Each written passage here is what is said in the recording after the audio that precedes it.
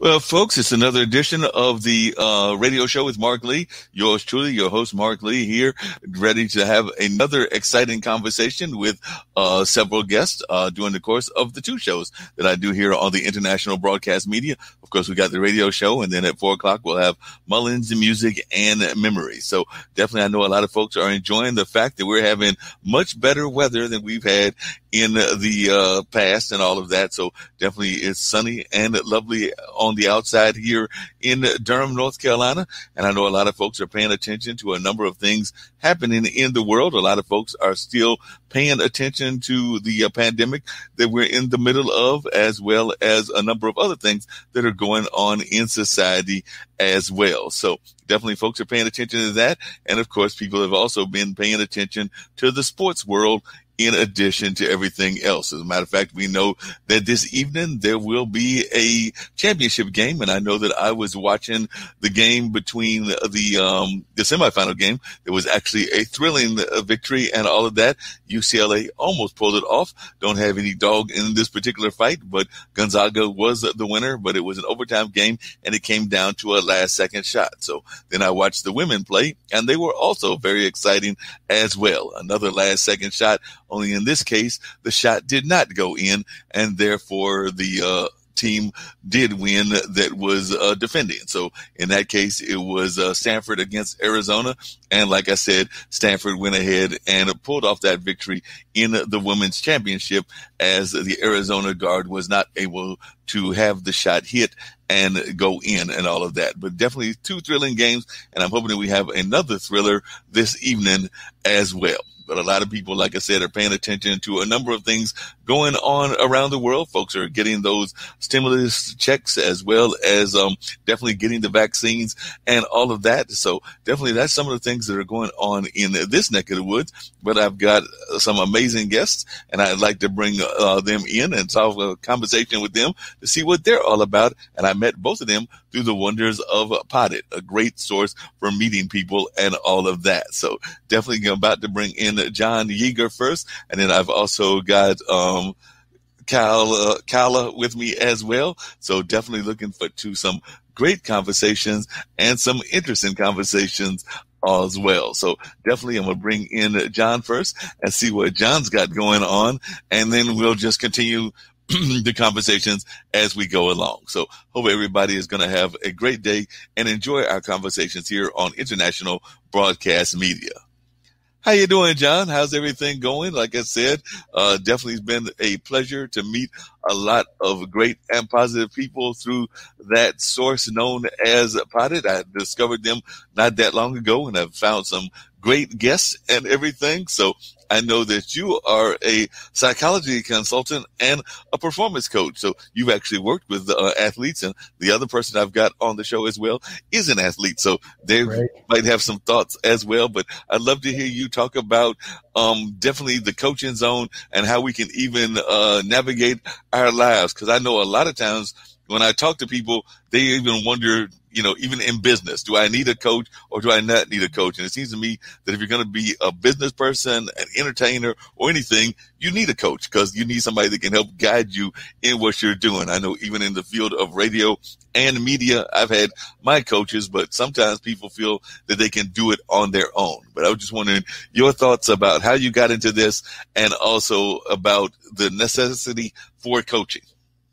Well, thanks for having me on, Marc. Uh, I was an athlete for many, many years until my body gave out. And uh, I also coached for around 45 years of my life, if you can see the, the gray hair right here.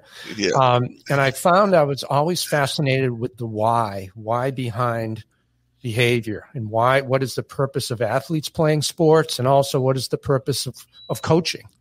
And in my new book, The Coaching Zone, I talk a lot about how coaches really need to look at their purpose in their their motivation, you know, in the things that they do. You know, two two interesting stories that come to my mind. Uh, when I was 11 years old, I I liked to run, and um, I uh, uh, signed up for a road race on July 4th in Framingham, Massachusetts, which is 20 miles west of Boston. Mm-hmm. My father drove me down there, and the race was going to be right before the Fourth of July parade. And uh, I got down there, got to the starting line, and I found that everybody else at the race was were adults. And I was oh, wow. basically six or seven years younger than everybody else. And I could feel that stress build up on me. And I said, I don't know if I want to do this right now. And uh, feeling very fearful, stressed out, looked over at my father. My father gave me a smile. And what that smile really meant was, You want to do this? Great. You don't want to do it? It's okay. So I stayed on the starting line. The gun went off. I finished dead last. Three miles later, the parade almost caught up to me. And, uh, but I remembered that smile from him said everything. And in many ways, he was my first coach. And I've always been fascinated with coaches that I've had since then, you know, who've been able to cultivate connections, you know, effectively challenge athletes. And, and, and, and third, kind of let go of control and let athletes do their thing with some leadership in some direction. And as you were mentioning before, Marc, whether this be coaching in sports, leaders coach that in business, parents coach our coaches at home. I mean, we all do that to a certain degree um, in different ways that we lead. And in my book, The Coaching Zone Next Level Leadership in Sports, this is kind of a guide for new and seasoned coaches to kind of one, increase their own self awareness. And what I mean by that is that that coaches uh, so often, you know, will look at the X's and O's, but really to look at why I'm doing what I'm doing. What are my strengths? What are my shortcomings? What are my stories? What do those stories say about what I've done? And how do my stories come alive when I communicate that with the athletes? And so I think those are those are very, very important things. And that leads kind of the second part of the book is how do we lead and empower the athletes that we work with, or if in business, the employees that we work with, or our children at home. And do we provide enough direction? Do we provide enough empowerment? And how do we kind of hit the sweet spot with that by, by doing that, you know. And and the third piece in there is kind of choreographing or orchestrating the team dance.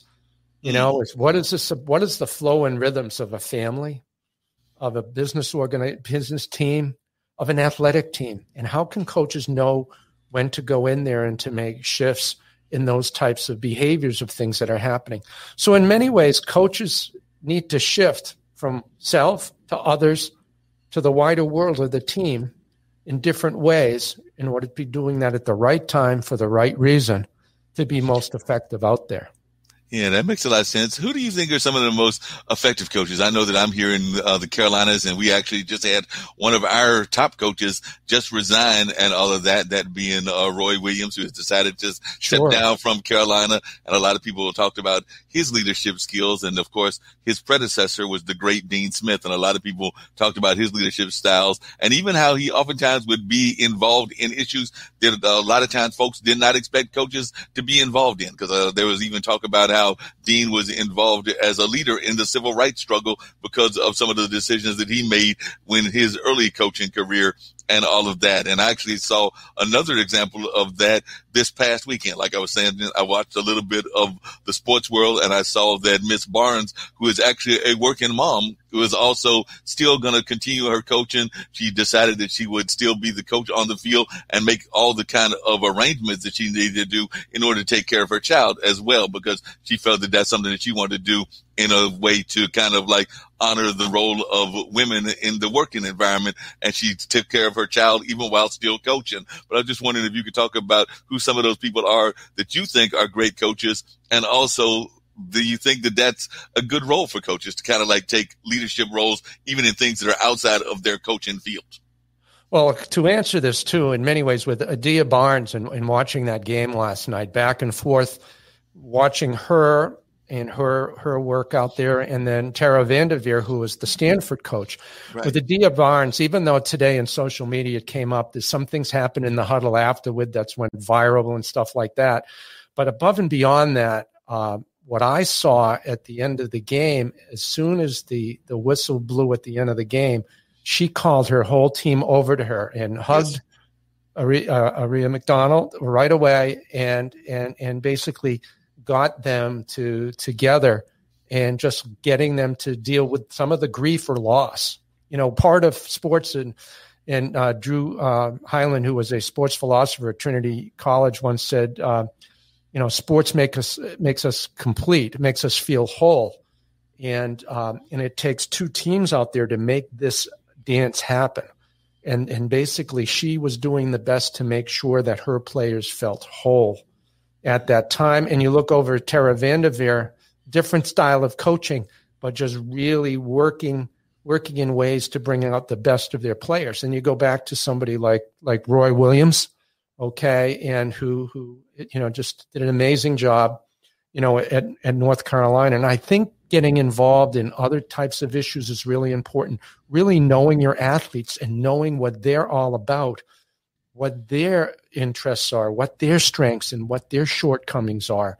So to know and what what what are the things that they believe in. And I think that's really important for for coaches today to do.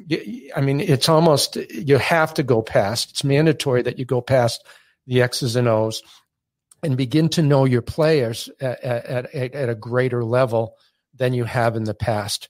Three different ways. One is that you develop a vulnerability trust with them. And that trust is all about, as a coach, saying, you know, I make mistakes also.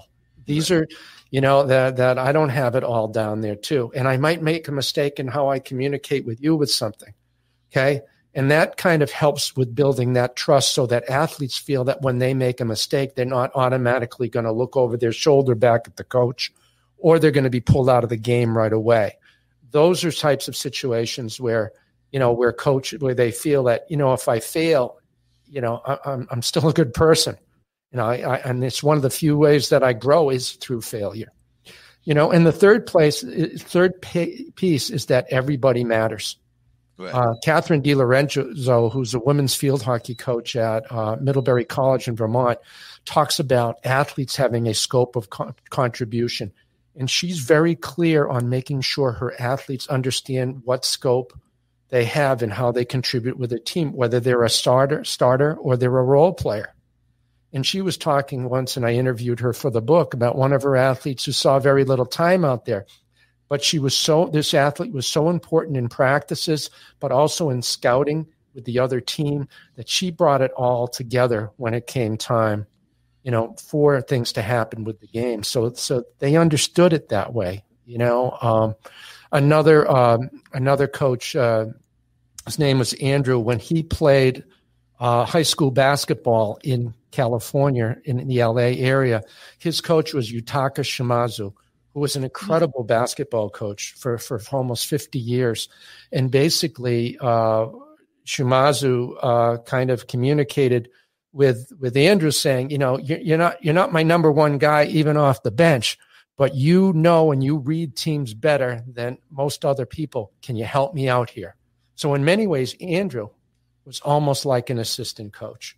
And so this is where if you find roles for the athletes, and have them feel as if they matter. That's really, really important. Is it perfect? No. No. But as I said before, part of sports is a sense of feeling complete and part of something, and lo- using the cliche, part of something greater than oneself. You know, uh, but but it's really important, and I think coaches have a responsibility to help or- orchestrate and choreograph that. Marc.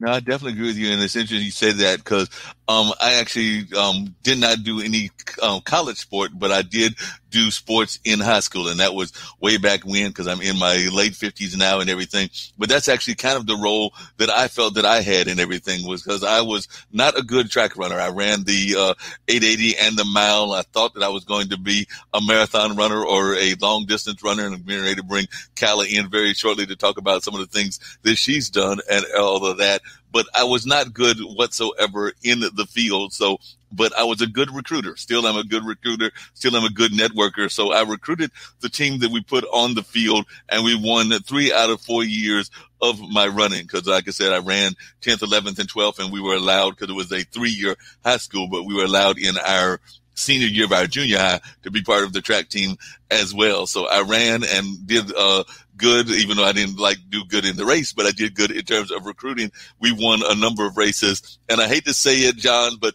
I think that the reason we lost it my senior year was because I got tired of losing. So I recruited somebody that I knew I could beat, and that might have cost us the victory and everything. Because I think we lost by like a point or two, and we didn't really have anybody that could do the pole vault or a number of the other kinds of events like that. So I just got tired of losing and uh, was a little bit on the selfish side. And I know that's not something that coaches want to hear, but that's actually what I did. And like I said, it might have cost us my senior year and all of that. But I know that that's just kind of like my story of being involved in that and everything. And I also know another story that I share, and like I said, I'm going to bring Kala in as well. But another story that I like to share is that um, when I was at a summer journalism camp um, studying this great field of journalism and everything, I was challenged in a race. And of course, you know, if you're a high school kid, you've got a little bit of that bravado and all of that. So I was like, sure, I can win. I'm going to beat this guy. And I knew that there was probably no chance of me beating him whatsoever. So I took up the challenge and like accepted his gauntlet that he threw down at me yeah. and all of that. And um, then I talked myself out of going to the race because I was like, I know I'm going to get smoked in this race, so there's no need for me to go to the race. It kind of comes down to your story about your um, parents and everything. So I was like, there's no way I'm going to make this race. I know I'm going to lose and it's going to be embarrassing. My uh, people that are here in this camp with me are going to see me lose. They're going to be embarrassed. So I talked myself out of going, and I think I waited till way in the evening time, like maybe five or six. And as I was going down there, I saw my friends coming back, and they, I was like, "So did we'll just say a name? Did Jack make it to the race? And uh, you know, what kind of excuse did y'all give for me and everything?" And they were like, "Jack didn't show up either." So I just myself into thinking that I was going to like get beat by this guy. He probably was uh, selling wolf tickets as well, and apparently he didn't show up also. So when they were sitting there just staring at a track and all of that, but definitely, uh, Kala, I'm glad that you were able to join us, and I know that you are a coach as well. You've done work in the triathlon field, and I would love to hear about this work that you've done in the triathlon field. That's not a uh, race that I would probably even dare to do, even though my brother has tried some of those endurance races and all of that. But he's uh, didn't have much luck either because he got injured. I think the two or three times he tried it. So the family basically was like, "No, Malik, that's my brother's name. You just need to give up on those kind of races." Because I think the two times he tried those endurance races, he broke something. So I think my parents were like, "No, we need to find you something else for a hobby, but triathletes, I have a great deal of admiration for them. So if you could share a little bit about your background, and then I definitely want to continue this whole conversation around coaching and uh, what we think are great ideals of ideals of coaching. Awesome. Well, first, Marc, thank you so much for inviting me to be here. Um, and John, it's really great to meet you. Like, what a great resource for me to. I took furious notes while you were talking as I was backstage. So um, to be amongst such uh, excellent people is is really an honor. So Marc, you got it right. I am a coach, um, a triathlon coach, but I became a coach because I fell in love with triathlon, and I wanted to make sure that other people who looked like me were at the start lines of races. And I figured that the only way that I would be able to do that was to be the coach that welcomed and accepted them into the triathlon world and then showed them how to get to that start line. So um, I've been, it's so, you guys were talking about all these sports teams, and I'm like, I don't know any of them. I know a little bit. I mean, you can't you can't not know about the Gonzaga game, right? And like the the thing at the end of the game, like that was whatever. Um, I've been an athlete almost my entire life, um, and I've always been coached in one way or another. So, John, I'm I'm right with you. The value of coaching, I think, is just um, undescribable, and that was part of the reason why I became a coach because I know the value myself how coaching sort of helped me become a better athlete and a better human and all that stuff. Um, so I swam all in high school and um, I always hated running. So I was, Marc, you're a runner. You've got the hardest part done. We just got to get you in the pool and put you on a bike and have you do some strength and some balance training so you don't get hurt like your brother did. Like you, you've got it down. You've got it down. Um, yeah. So I came to triathlon because I started running, even though I didn't like it. Um, and I wanted to become a better runner. And so you cross train to do that. Um, and so I got back in the pool, remembered how to swim. I got myself a bike. I started cycling around. I thought, I should do races. So I sort of got into the swimming race side of things. And then I started looking at cycling races. And everyone's like, well, what kind of cycling? Because if it's, you know, velodrome, if it's road, if it's crit, if it's triathlon, I was like, triathlon? What's that now? And that was just sort of the end of everything. Like it's putting three things together, doing an incredible challenge, um, feeling super strong right when you finish, like having the commitment to your training. Um, and then, of course, there's just a whole community out there of all of us that are just silly enough to want to do something like this. So um, you can't you can't help but fall in love with it. And I'm sure your brother would agree, even though he kept getting hurt, he probably made some lifelong friends in that community. So yeah, so it's a really long roundabout way of saying I love it, and that's why I became a coach. Yeah, he definitely uh, still loves it. Like you said, he made friends in that community, and he's now involved in another community because he's involved in the community of people that run uh, those. I call them the Batmobile cars, but they're like those Polaris cars and all of that. So during this whole time of COVID and everything, his group of car uh, enthusiasts they actually went out and um, like he's uh, his girlfriend's daughter was graduating uh, last year, so they actually went and uh, did like a graduation drive-by since she was not able to have the traditional graduation ceremony and all of that, and she just loved it. And uh, we're finding other ways to get involved in community. That's one of the things that I've noticed about coaches as well as even the triathlete community and even the bicycling community is that it does seem to be very much about community. So I was wondering if both of you could talk about that aspect because it definitely seems to me that within sports altogether, it's very much about community and uh, enhancing our community uh, skills and all of that. Because I don't know anybody that's involved in any form of exercise, whether it's bicycling or whether it's running or a number of others that don't have that community aspect. But I'd love to hear y'all's thoughts on that. Yeah. Well, well, I think the the community that's developed with the team is so powerful. Okay, and even Kyler, as you're saying, the the community that you develop you know, with your ath- your triathletes, and then that community that that kind of goes there is where people have some level of a shared identity or common ground for the things that they do. And that basically what they can then do is they can kind of thread off there, branch out of there, and spread the things that matter most to them to other people. And that's where we can get groundswells of of that. And and so often we see with athletic teams is that we get communities that come around uh, athletic teams, and everybody wants to be on a team. And if you know, we look at politics, you know, people want to be on one of those teams, or maybe as a libertarian, a third team.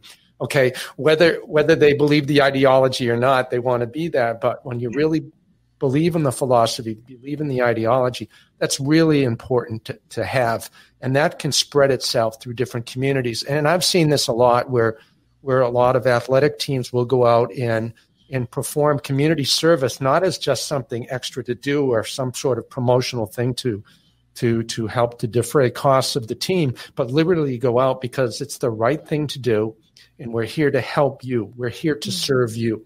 And that's truly how you bring servant leadership into sports.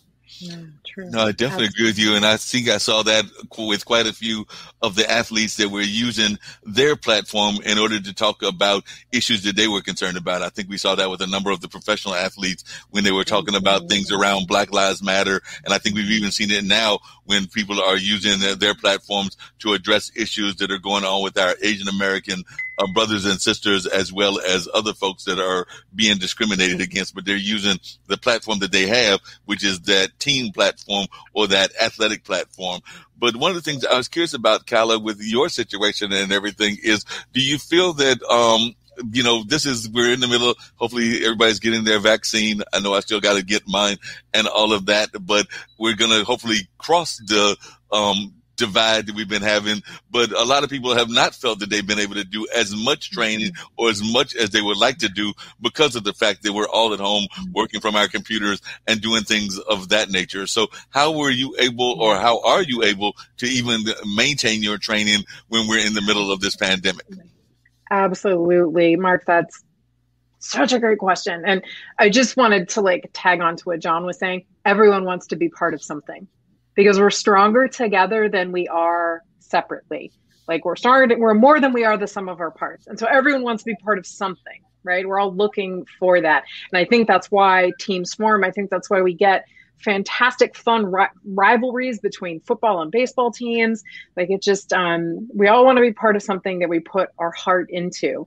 And that's what made this past season i think in any sport just heartbreaking right? We have like this this was my year. 2020 was my year to qualify to go to a world championship in 2021 everything got canceled race after race after race. Races are so much more than just events to go and put it all out on the line.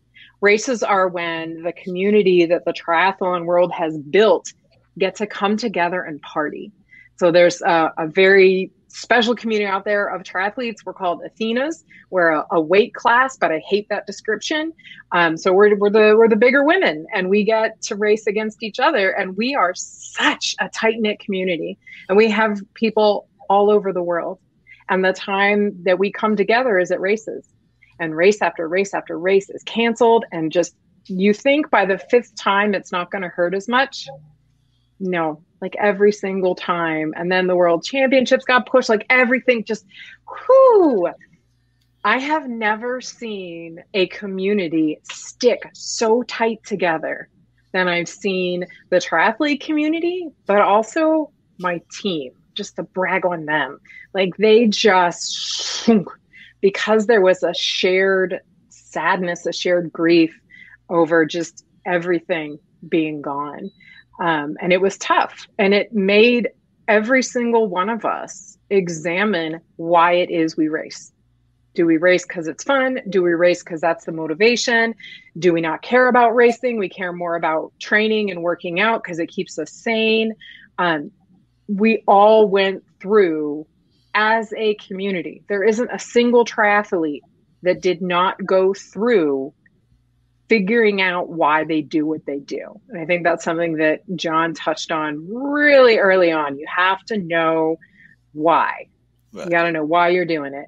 And I had athletes join my team because we were strong and I was writing training plans and coaching and doing all of this.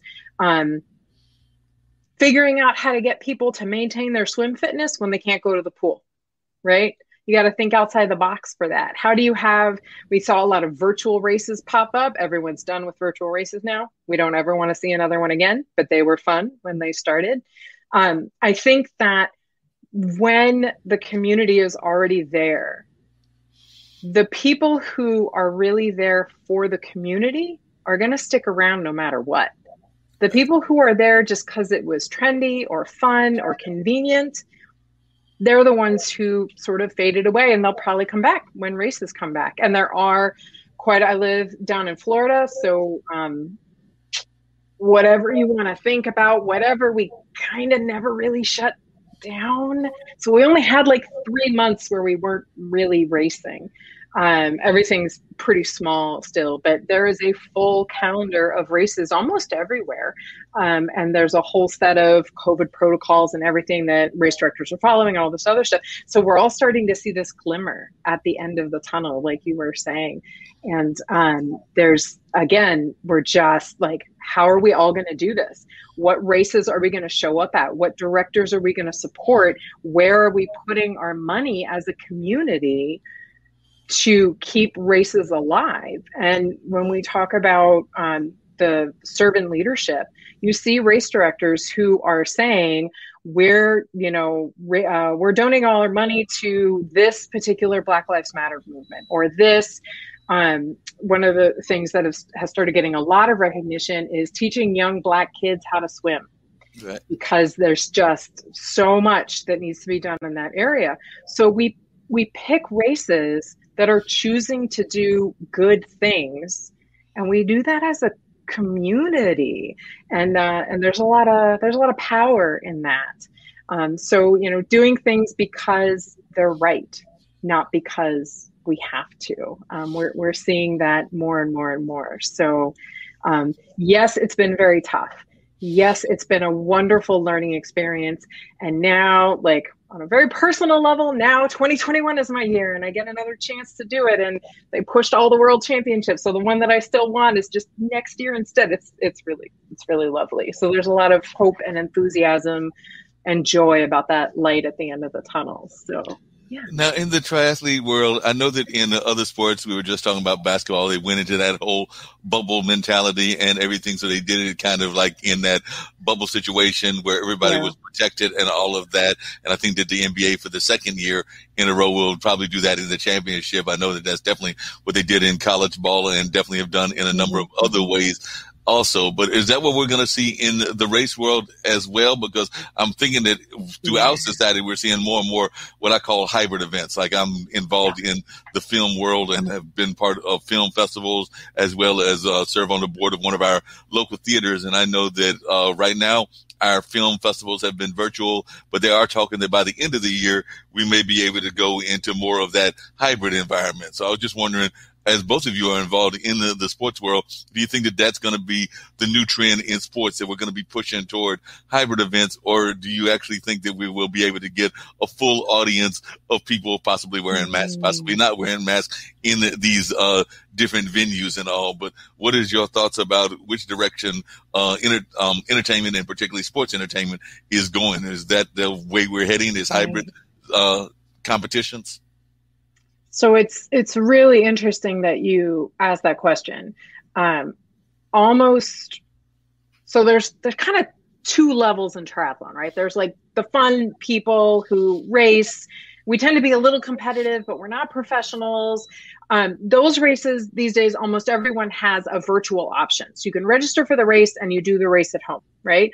They have to keep the numbers low because of how much distance we have to keep in the transition area, like all this stuff. Temperature checks, masks required all the way up to the start line. They hand out masks at the finish line.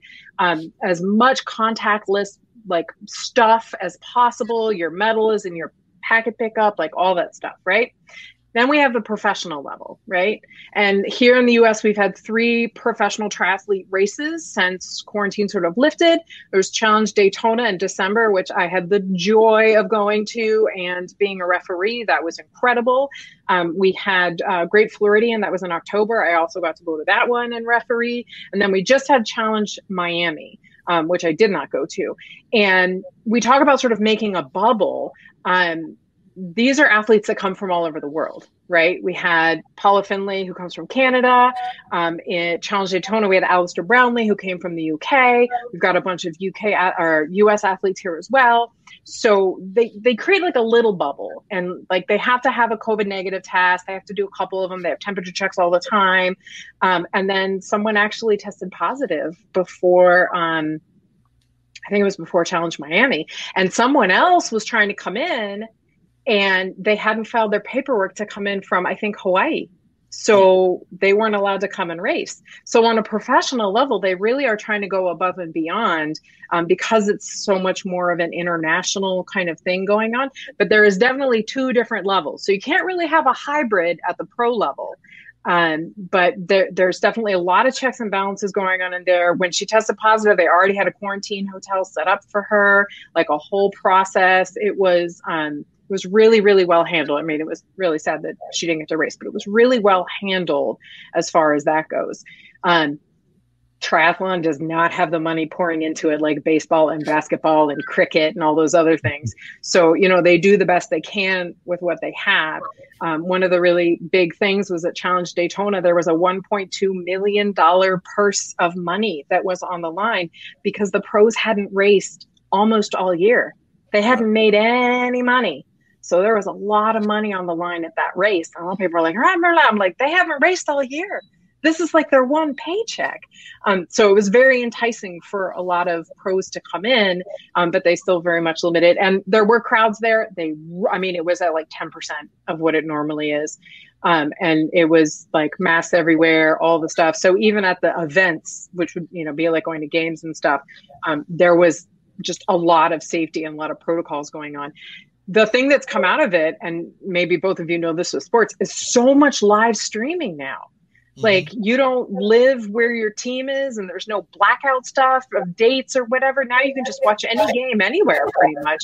Everything is live stream. And so that has made the triathlon professional circuit um, I think a lot more accessible. And I think we're going to see a lot more of that coming in because if you go watch a professional triathlon race, just go watch one. Go watch the highlights from Challenge Miami. You'll be hooked.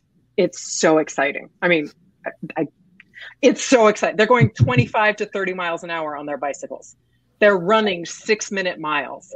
It is fast paced. It is incredible. And I'm very, very excited about it. And I will talk about triathlon all day. John, please interrupt me. And no problem. No problem. You were doing a great job. I was enjoying the conversation. I do have a question that I'm curious about. Um, cause one of the things that I know that was very popular was kind of these contests that are, I mentioned the, um, like those, um, endurance races where you're doing like, um, um, what do you call them? Obstacle courses. That's kind of what my brother was involved in and all of that. But then there are also the oh. ones that I sometimes wonder how triathletes and other runners feel about these contests because to me, they don't really make much sense. Like I know here in North Carolina, we've got something called the Krispy Kreme Challenge where a lot of folks will run these great races and everything else, but then they're also supposed to eat a lot of Krispy Kreme's donuts and all of that. So it seems to me that that's kind of defeating the purpose. But then you have the other great races like the Great American Race that are there there to honor the different uh, causes. Like it might be uh, a race for breast care, breast cancer awareness, or a race for diabetes, or a race for a number of other things along those lines. So I'm just wondering your thoughts about those specialty races. That's what I call them, is specialty races. And sometimes the specialty races, like I don't know how you can go running like you know 10, 15 miles or however many miles they run and then go eat tons of donuts, but they right. do it. There is a race for anything that you want to do. And now it makes more sense that your brother kept getting injured because those Spartan races, I I tried one. Mm, no, it was not. It was not for me. Um, the you know the donut race thing seems to be a really really big theme. They have donut cycling races, donut running races. Um, people do them for fun right? We do them for fun. I did a, a, 66 mile bike ride race where for every donut you ate, you got five minutes off your time. It took me eight minutes to eat a donut. They were huge. They were these huge donuts. It took me eight minutes to stop, get off my bike, get a donut, eat it, and get. I was not saving time. And you're right. Like people train, just like people train to be professional eaters, right? People train to run and eat donuts, run and drink beer, run and do other things, run and swim and run and swim and run and swim. Takes a special kind of person to eat 10 donuts and run 10 miles but but people do it. And and people love theme races. They love specialty races. Um, they love the races that donate money to stuff. There's a lot, a lot, a lot of ones that um, honor veterans and the military. There's a great one in Indiana called Leon's Triathlon that is um, really aimed specifically at military and veterans, and they do a lot of fundraising for that. So if you've got a cause, if you've got something you love, there's going to be a race for it. And if you got something that you like doing, like rollerblading, there there's going to be a race for that. You just got to find it. Your people are out there. Your team is waiting for you definitely. What do you think is some of the big mistakes? I was talking, and I'd love to hear from both of you, but I'll start with you, Khaled, that people make when they are doing coaching. Because you've coached triathletes, you've coached a number of other folks, but what I mentioned some of the great coaches that I know about um, here in this area, North Carolina is definitely a basketball center and all of that. But I've also followed uh, football. I remember that I was and still am a big fan of the Minnesota Vikings, so I have a great deal of respect for the legendary coach Bud Grant and a number of other coaches in the football fraternity, including the gentleman from New England. But I was just wondering, what are some of the mistakes that you feel folks make when they are getting involved in coaching that you wish they would not do? Mm. Um, I think the absolute number one mistake you can make as a coach is to not listen to your athlete.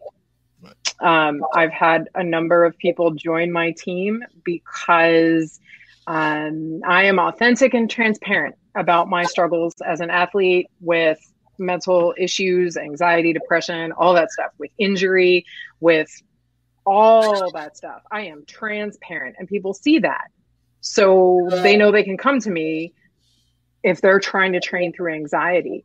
Um, I had a person come and join my team who was paying their coach a ridiculous amount of money a month and all their coach did was make them feel terrible when they had to skip a workout because the anxiety was just too much. When you start putting your own whatever on your athletes it is a fine line. I think john will agree with me. It's a fine line that you tread between pushing them and pushing them away. But if you really listen if you understand what their priorities are and you honor those priorities, your athletes are going to love you regardless of whether or not you're good at writing plans or good at doing whatever. You're listening and honoring where they come from. And that's the number one mistake I see over and over and over again not listening. I, I totally agree with you, Kyla, uh, regarding that. It's it's listening to your athletes and that the coach is not the main actor in the story. Yes. You know, that that's, you know, and sometimes the media can play that up, but yeah. basically they are a supporting cast to support the athletes in the things that they're doing. There's some, there's a really interesting uh, thing out there in the, uh, Barry Oshry wrote a book called The Mysteries of Secret Mysteries of Organizational Life. Mm-hmm. And basically, uh, he talks about the notion of that in all organizations, and I'll talk about sports right here, we have tops, middles, and bottoms in the stratosphere of of power differentials on teams. And and and if the coach maintains, the coach is typically the top of of the food chain right there. And then and then the the team captains and seniors and le- other team leaders are kind of the middles and then the rest of the team are the bottoms. And and bottoms does not mean that that it, that they're bottom feeders at all. No, but mm-hmm. sometimes coaches treat them as that. But the bottom line is coaches understand that the basically the work gets done by the bottoms, mm-hmm. and that then when athletes are out there competing, whether in more of an individual or a team sport, okay, they know more about what's going on than anybody does. And if coach listens to them, as Kyla was saying, to bring that up, that's important. Going back to Katharine DeLorenzo uh, at Middlebury College, uh, she really welcomes her athletes. If they call it, they call a timeout. They come by, something's not working. She invites and she says to the players, "Well, what are you seeing out there?" And one of the mm-hmm. players may say, "You know, coach, when we did this against this other team with that same type of structure, it tended to work for us. Thank you. Thank you, Gina. That was that was perfect. That, let's let's do that as we go back out there. Mm-hmm. But that the athlete matters. The coach listens to the athlete, and that's when the the the, the top middle bottom relationship is empowered. When that coach listens to and brings to fore all the things that are going on and that what the athletes have to say. Because if it's not working, okay, if it's not working out there, basically the athletes bind to get bond together and they live in an, in a world of like we're we're not listened to okay mm-hmm. the top does you know whatever they want to do and we can see this in business organizations also mm-hmm. And one other thing in there too is this the notion of of besides listening it's providing appropriate feedback giving the right feedback at the right yes. time for the right yes. reason yes so, you know, uh, there's maybe th- like three types of feedback. Uh, Doug Stone and Sheila Heen wrote a great book called Thanks for the Feedback. Mm-hmm. And basically, uh, appreciative feedback, we know what that is. It's saying, hey, that's a great job. But you go beyond that's a great job. You say, what, what was it about what they did that you so enjoyed? To let them know that, to feed that back to them. Then there's coaching or skill improvement feedback saying, hey, I'm going to coach you up. Then there's evaluative feedback saying, okay, this is how well you did. This is how well you didn't do. And so some sometimes some sometimes people don't athletes don't care for the evaluative feedback. And the thing is that coaches need to know is this the right time to give that feedback? Or maybe I should give coaching feedback instead. Or if you mm. give, if you're always going around giving appreciative feedback, everything's great, and the athlete finally says, "Coach, you got to coach me some more with this." Mm-hmm. So it's finding that sweet spot. Now, does that put more of an onus and responsibility on a coach? Yeah, it does. It does. But the the uh, the bottom line, the the rewards are so much greater because you get to know your athletes more, and your athletes really respond to that. Yeah it sounds to me like you're both saying, and I'd love to hear if I'm hearing you correctly, that the coach doesn't matter whether it's a business coach or a athletic coach or any kind of coach that exists out there. I've even got some friends that are health coaches, but they're not just doing the, the coaching of whatever that field is, but it also sounds like they're also life coaches because it seems to me that the best coaches that I know are the ones that they're not just friends with that particular person doing that uh, three or four years that they are with that person, assuming that they stay for the duration of their college career and all of that. But they are staying friends with them throughout because I've heard of a number of even like NBA players that are still in touch with their high school mm-hmm. or their um, college coaches because they had that connection with them as being a life coach and they were giving them advice mm-hmm. about life things, whether that's relationship things that they might have been getting into or finances. Cause a lot of times they are, you know, coming up with, if they become like an NBA and an NFL player, a major star that gets major money. So then they mm-hmm. don't always know how to handle that money. But it seems to me mm-hmm. that the best coaches are those that are the coaches, not just for that moment, but they are there to be coaches throughout and they, they build this mm. bond with their athletes that carries them throughout their coaching career. Uh, every time I hear of coaches that are being talked about, like say on ESPN or some of the other uh, sports programming and sports networks, they oftentimes are talking to athletes that are reflecting on the coaches in their life that they might have had in the past and how they are hoping to maintain the relationship with the coach that they currently have. So how important do you think it is for coaches to be life coaches? Hmm. That's such a great question. I've had so many athletes tell me, Kyla, you're so much more of a life coach than a triathlon coach. And I'm like, well, I'm just coaching you about your life. It just happens that right now your life is about triathlon or your life is about this. I think it just goes back to listening, right? Like not unless you're unless you're a professional athlete, your life is not about whatever sport you're doing, right? So my athletes have jobs and families and kids and parents and cars and houses and things they have to deal with that might be more important than getting to the pool, right? And helping, showing, supporting people how to balance all of the things that are going on and figure out what is really most important right now and who are you putting first that is a that's just a key element in being a good coach. Because you're not always going to be first to your athletes. And and that can be you know an ego whatever not for me. Um, but if you help those athletes understand that they should always be first to themselves because a lot of them don't. They don't think that. They think that their kids are first or their job is first once they decide to put themselves first, then it makes it a lot easier to think about that eight hour training day where they're going to be away from everything. Like it's all right to say, I need this time for myself. So, you know, a good coach is a good coach.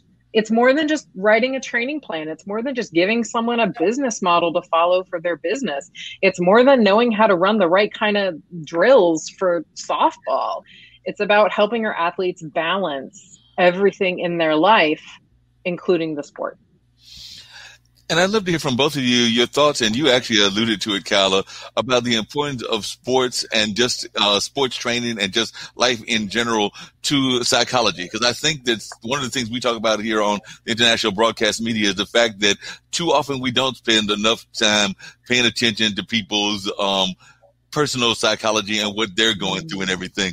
Um, John, you had actually alluded to, and that is actually was one of the moments that touched me as well. Seeing that coach actually reach over and talk to their star athlete and you know basically letting them know that you know this was not the end of the world that even though i believe that that athlete was a senior but that they would probably go on to do many other great things and even though they missed that shot that it was not going to be the um you know, definitely they were going to feel the pain of losing and the pain of what they went through, but it wasn't going to be like um, a overly devastating impact on their overall life. And that's the kind of mm-hmm. impression that I got is what she was doing in that comforting moment. And it definitely touched me and everything. And I saw even that some of the combatants were doing the same thing. I mean, I think I saw one of the other nice moments that I saw in the competition between uh, Gonzaga and UCLA was how the players actually got together and kind of huddled together, even though they were on opposite teams. And even though one won and the other lost,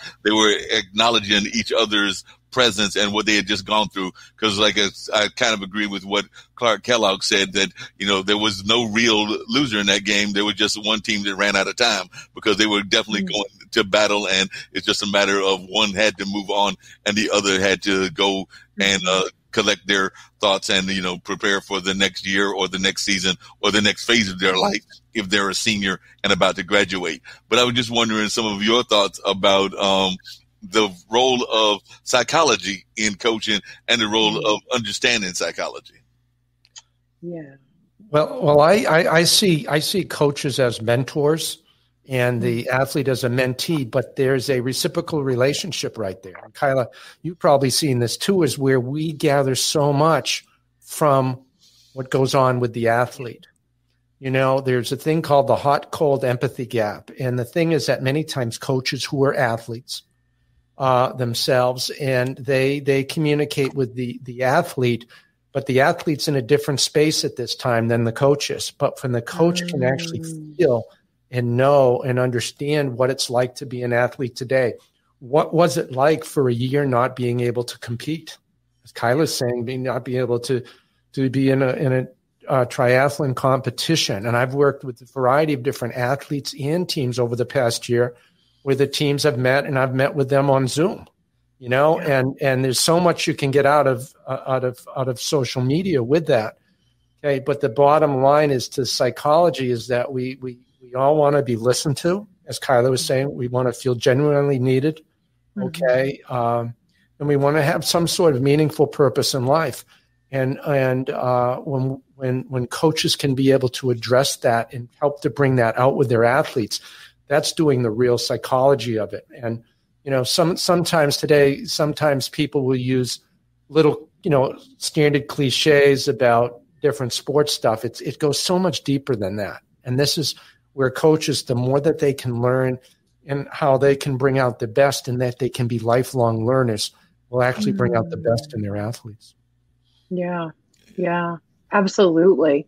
Um, when we, it's, mm, so John, I love that you sort of came in from like a sports psychology perspective as well, which is like really great because I want to attack it from like the mental health side of the yeah, psychology, certainly. right? Yeah. So, um, so mental health, huge stigma in this world. And I remember the very first time I did a social media post, and I talked about how uh, some days I don't get out of bed because the depression wins or some days I don't do XYZ because the anxiety wins. And I talk about the support structure that I've created for myself. So when I have those rough days, um, I know how to sort of pull myself back out of it and things like that. And so many people had said, Thank you for being honest and open about this.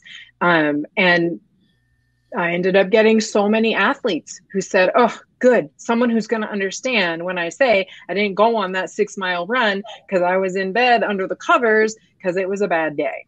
Right. So being a coach who understands mental health, regardless of whether or not you've walked that path and have that struggle, that you understand at a at a, just a basic psychology level what depression, what bipolar, what the autism spectrum is, what anxiety is like, what all of those things, so that you understand, even if it's just in a brain level, what your athletes might be going through. That goes right with that listening, right? Because you're going to know if someone tells you they couldn't do something because they had an anxiety attack, the worst thing you can do is make them feel guilty. The best thing you can do is say, okay, let's try again tomorrow or next week or whenever, right? Especially with this pandemic, we're seeing so many more people identify that they have struggled with some sort of mental illness and the the pandemic really just amplified it and you know of course a lot of people really did have a lot of depression and things that happened and triggered because of the isolation um, but a fair amount of those people actually had a lifelong mental illness that they just never realized what normal looked like. So raising the awareness that it's okay to have those things. Hey, and guess what? You can be a phenomenal athlete and a phenomenal human being um, just by having that basic understanding of what that's like for people who struggle with that. So, um, yeah, yeah, that's where that is. Just to, just just to dovetail on what Kyla was saying, is that even not at a to a, a total clinical position. Thank you. That's the word, clinical. is that sometimes sometimes athletes when they have fear and anxiety regarding their performance or they have anger, or they have guilt, or they feel shame or sadness or disgust. Um, that may not be all the way a clinical concern, but it's Absolutely. something that the emotions come out, but their belief system, okay, hmm. is negative. And it usually is something that it's not just on the athletic field. It's it's it's in as Kyle was saying, it's daily life. Yeah. So so if a if if an athlete feels is that they're not competent or you know they they they so they feel fear and, and anxiety because of that well where else do you not feel conf- confident mm-hmm. and competent in your life? And usually it's it's something else that's going on too. And if coaches can be able to you know help the athlete go past the emotion and understand what is the what's the thought that's going on there. When you don't do well now this this is really important and it's age it needs to be age appropriate too that the that the coach and the athlete have that vulnerability trust with each other is that when you know if if you know uh, saying you know I, I I let the team down. You know uh, you know I didn't do it. I missed the last shot. I let the team down. Well what what, what what's that all about all about? You know that that you violated somebody else's rights? Now reject that thought. Mm-hmm. You really do that. Or it was just one play one moment in time. Yeah you know not to define yourself as a per you know your be just your behavior at that one moment yeah. And how much do you think it is important for uh, coaches to be involved? And I'm actually I have a bias toward the example I'm going to use and everything, but a lot of times I think that uh, coaches and athletes know that they're in a business relationship, and it's definitely a business relationship. I'm thinking about mm-hmm. like the professional athlete and the professional coach and everything, but then you know they don't always follow the same protocol as maybe they were expected to get into that business world. I'm actually went to school. Um, we were at Marquette at the same time with Doc Rivers, and I know that he was recently in the news because one of his athletes that was involved in a trade was basically like, you know, Doc could have at least gotten in touch with me and told me about the trade, wished me well, and all of that. And I think Doc's attitude was kind of like, you know, I'm concentrating on trying to build the 76ers into a championship quality team. So no, I did not make that call and all of that. So that's kind of the gist of what I heard and everything. And like I said, I did go to school with Doc, so maybe I'm taking a little bit more of his side than the other guy's side. But I was just wondering, how important do you think it is to have that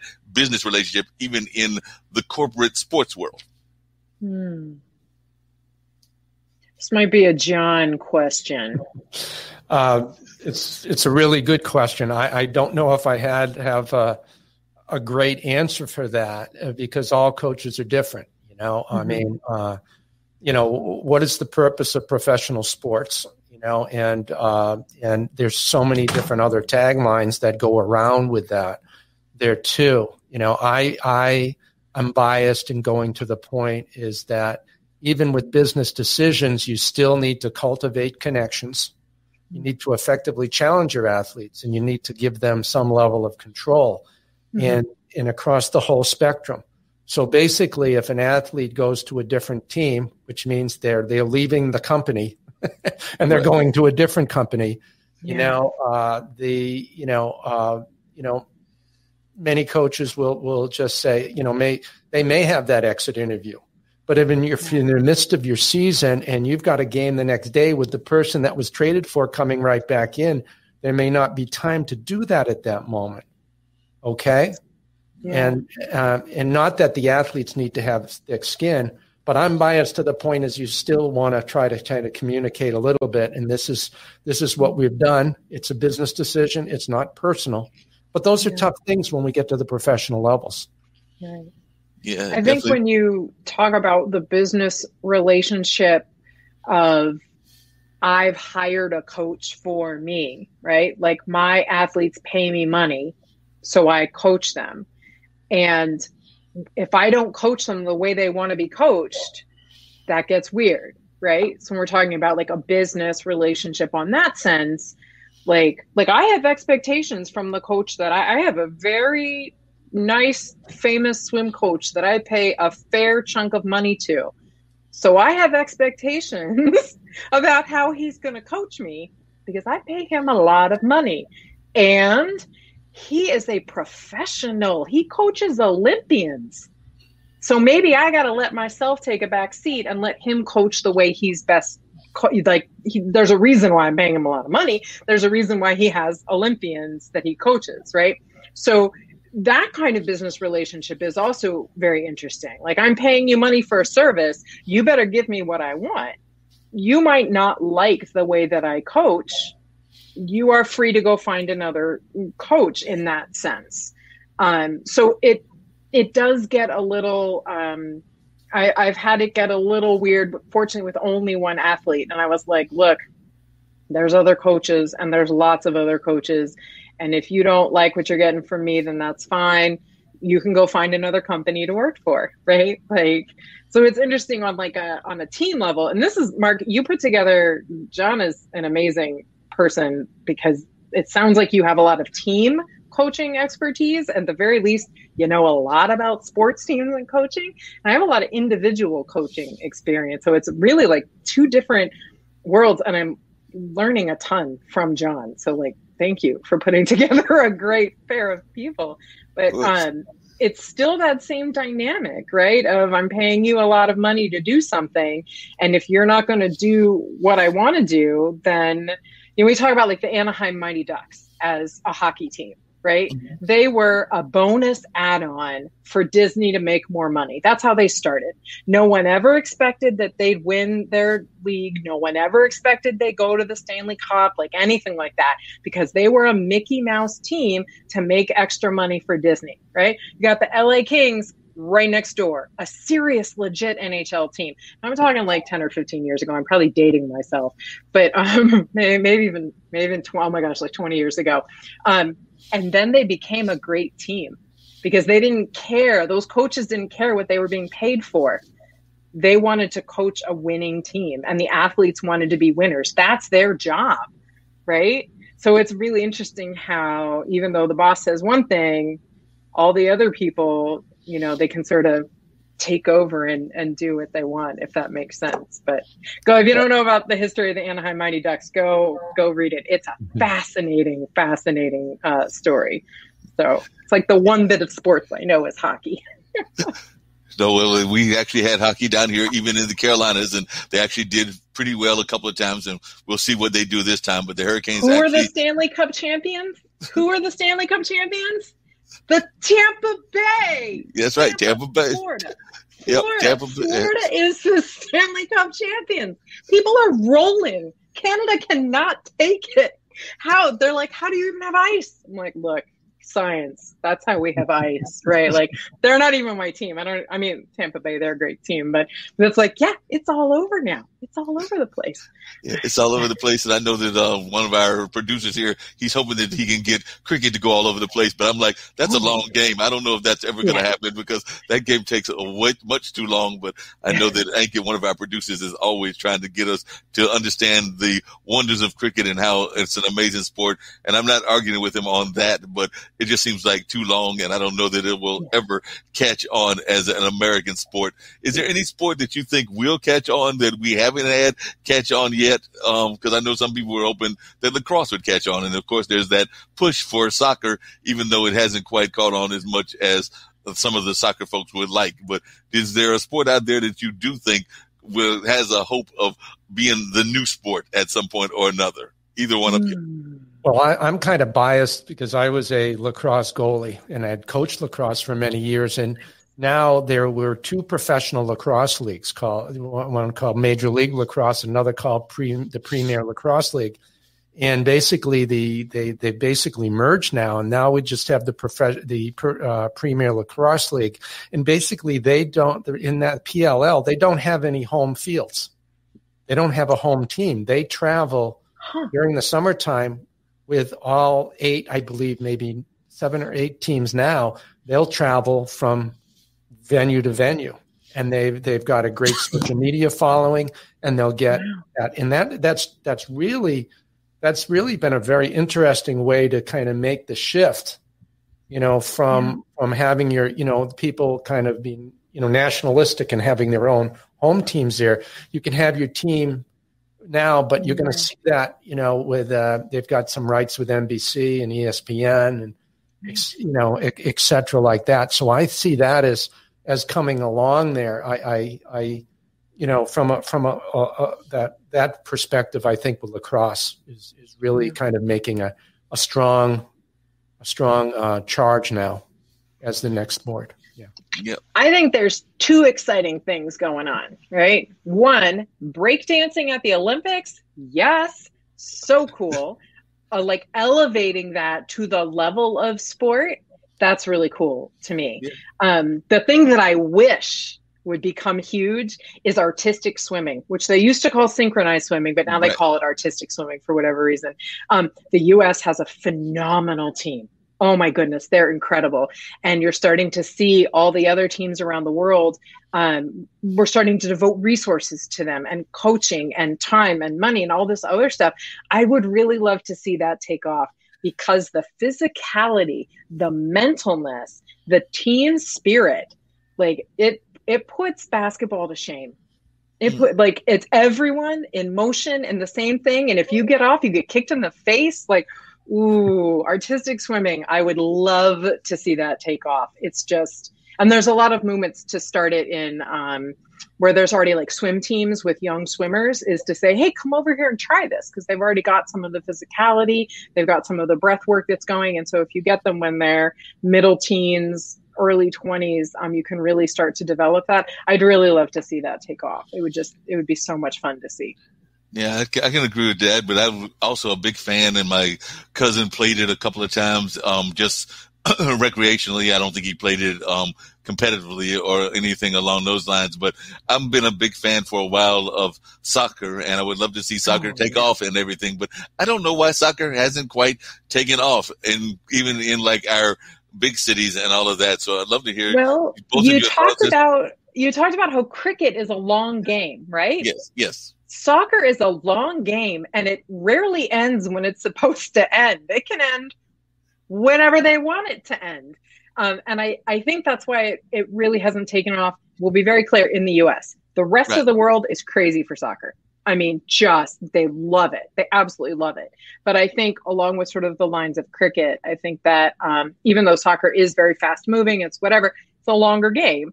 And um, if you want to fall in love with soccer, go watch Ted Lasso, which is on Apple TV Plus. It's a phenomenal show. It's about British soccer, but it's um, it's still it's still really great. You get to learn a little bit of how it works in Britain.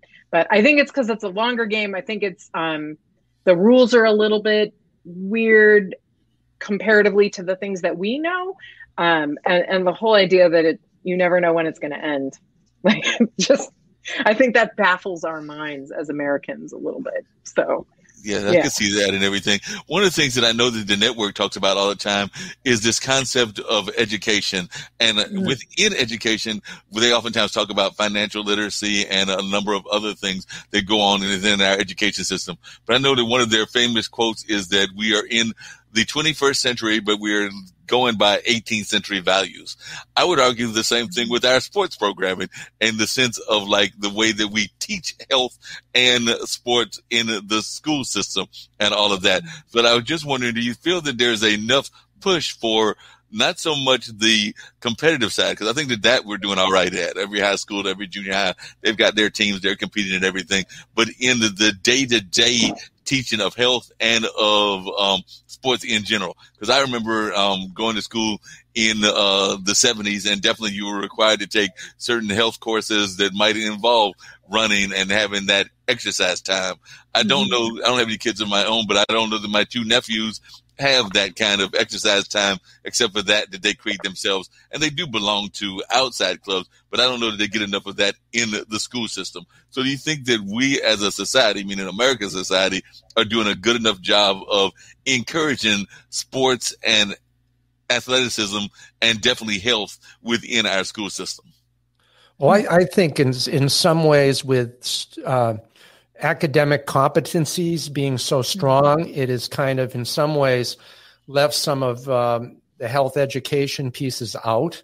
Right. You know, mm. but if if a school system, if school districts really say that they're they educate the whole child or the mm-hmm. whole person, then you have to look at that whole person. And I, I look from a standpoint of looking at, you know, the physical, the emotional, the mental, the moral, mm-hmm. the social and the spiritual and i mean the spiritual from a standpoint of purpose and meaning yeah. and that and that i think some of our best teachers in our schools are in some ways really good health educators because they mm-hmm. bring out the best in their students but formalized curriculum done well okay is is really important and sometimes it actually gets short shrifted you know along with our, our physical education programs yeah. you know, and um, so it doesn't necessarily always bring out the best in young people. And so, if yeah. we're really talking about looking at that whole person, we want to talk about that behavior. We want to talk yeah. about about how how how how how young people think about their, their own health and what they need to do because there's so many educators for health behavior out there that we see whether it's through advertisements on TV and a variety of other things, that that that the school becomes a really fertile ground when accepted, and uh, and that schools promote uh, good health behavior and good health education. Yeah, I think that. Um, I mean, it's been a long time since I was in high school, but I do remember you only had to take a year of phys ed in middle school they they make you slog through it and it's horrible and like no one likes it except the kids who are super naturally physically fit and you have to do all this like i think we learned how to dance at one point like it was but when we talk about being stuck in the 1800s um, and we talk about health if we continue to use bmi body mass index as an indicator of health and we continue to just hammer that into the heads of our young people, we are leading them towards unhealthy lives. Like, and that's the thing. We, I think they still use those little fat pension caliper things to decide whether or not you're healthy. Like, are you kidding me? So, as long as we continue to perpetuate this terrible, terrible notion that you got to be super skinny and thin and have a BMI of whatever and blah, blah, blah, um, we're we're doing a disservice to health, right? You see the chunky girl and you think, oh no, she can't do any of that. No, she's gonna kick your butt in the pool because she like she's got she's not fat, she's muscular, right? We talk about how there's super famous athletes who are at the top of their game and super fit, and you look at their BMI and it's obese or morbidly obese because they're short and muscular, or because they're tall and just big bones and muscles and all this other stuff. So the thing is, living in the 1800s, if we continue to perpetuate the idea that size equals health, we're just we're going to ruin an entire another entire generation of young people. Um, and really going out of our way to make sure that movement and sport are available to every single kid, no matter what, like then, like that's that'll be a huge step too an absolutely huge step. Oh, no doubt about that. As you were saying that, excuse me, I was thinking to myself that um, I don't know their BMI, but I imagine that Venus Williams and Serena Williams can have the greatest BMI in the world because they are actually, and when I look at them, they look fairly. Uh, I mean, they're definitely athletic, but they're also what I guess some people would consider stocky. Yes, we call them. Um, some people call them thick or curvy or voluptuous, but I will tell you, a lot of what's under that is muscle. You go look at their their quads and their calves. What? That's how they get that explosive energy for tennis. Those arms, pow! I mean, they're just they're incredible, and they're a really really great example, along with many other female sports people that whatever you think the ideal body type is for an athlete, you're probably wrong because we have women at the top of their game who've had children, who are pregnant, who are fatter than you think it should be, who are just like just killing it. They're just doing an amazing job. So uh, that's one of the things I was talking to John about before you joined and everything. And I would love to know your thoughts about the coach of the uh, Arizona team that decided that she was going to both, both coach and breastfeed her uh, child at the same time that she was doing all of this great coaching and everything. But I would love to hear your perception of that because I do know that there were some people, and I love what the commentator said. One of the sports commentators, as they were given the details of what she was going through in order to mm-hmm. prepare to prepare the milk for her child, was mm-hmm. like, if you think that this is too much information, then we need to get past this and everything. Right. What she said, but I couldn't have agreed with her more and all of that. But I would love to know so your. Here, here's what's so interesting what have John and I been talking about? Athletes are more than just athletes. Coaches are more than just coaches. We have kids, we have families, we have jobs. Yeah, her job at that moment is to be a coach. And guess what? Her job at that moment is also to make sure her child gets enough food to develop properly. So, what are you going to do? You're going to breastfeed when you need to. You're going to pump when you need to. Women don't have that choice. We can't just be like, hey, come back in 30 minutes. That's not how it works. and especially we talk about like the emotion thing that happens. You know, there's there's that whole thing that I don't know much about, but I do. I have had friends who have kids, and they'll be talking about something that's very emotional, and just it'll flow because that's just how it is. Um, there's a, a, and I cannot remember her name, and I hate that I can't remember it. An ultra distance runner who was doing like a like a hundred mile run or something like that, right? Who had to stop at least twice to pump for her child because she had her kid was like six or seven months old. She had to pump for them because you have that has to come out or it's like you're going to have issues. So she had planned that into her race to be able to do that, not only to be able to feed her child because she was out running for like I want to say like 28 or 29 hours, but like her kid needed needed to eat at that time too. So like yeah, normalize the idea that women have children and that the way those children get raised is by feeding them and for many women choosing to breastfeed your child, like that's that's your choice. Like yeah, so I I, re- I do remember hearing a little bit about that and I was like, yeah, like people need to get over it if they can't deal with it do they think that they they were once babies too right? Like their mamas took care of them too. So yeah i think it's awesome. Yeah, I thought it was an awesome thing that was going on in that particular situation. One of the things that you oftentimes hear people talk about with athletes is the fact that it is a um, very small minority that actually make it to the professional level. So a lot of times people will talk about the fact that, you know, it's a lot of people that are doing it in high school, on the college level, but only a select few are going to make it into the professional level. And that maybe there's an over concentration on that part of sports and everything because not everybody is going to be a LeBron James and be able to make that kind of money that LeBron makes or that, um, Steph Curry makes or a number of other great athletes make in that regards. So what do you say to those that might think that we have over commercialized and maybe even unrealistically over commercialized the chances of folks have to be a professional athlete because like I said, we want uh, the top athletes and we definitely want folks to be there providing us that entertainment, whether it's the NBA, the NFL, the NHL, or a number of other leagues, even the Olympics and all. But that's a small fraternity that is, um, you know, it's not as wide as we would like to think. And sometimes too often, too many people in our minority communities and in our, uh, like lower income communities, they see that and entertainment as their only way out and don't necessarily mm-hmm. concentrate on some of the other ways out as well. So when you're as a coach, when you're seeing folks that are have potential, but maybe they don't have the potential to be at the next level, what are some of the words of encouragement that you give them to continue pursuing their dream, but also look at other opportunities? I think it's about looking at the process of everything. You mm-hmm. know, um, as you said, Marc and Kyle would probably agree that certain people can be an, a, a professional Olympic triathlete. I mean, and then um, the same thing in, in, in, in team sports too. Uh, I'm, I'm, working currently working with some individuals who are, are uh, you know, potential Olympians, and they have uh, they're in the they have a variety of different factors that are really going for them.